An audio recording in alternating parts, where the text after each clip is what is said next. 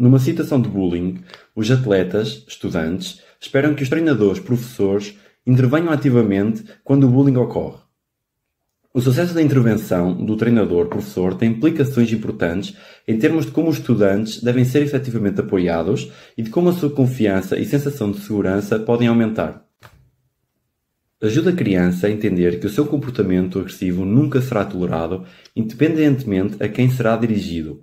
Estabeleça métodos específicos e rigorosos de punição a que serão utilizados se o bullying continuar. Seja um exemplo de comportamento positivo. Ao observá-lo, a criança aprenderá a tratar as pessoas à sua volta com boa vontade e respeito.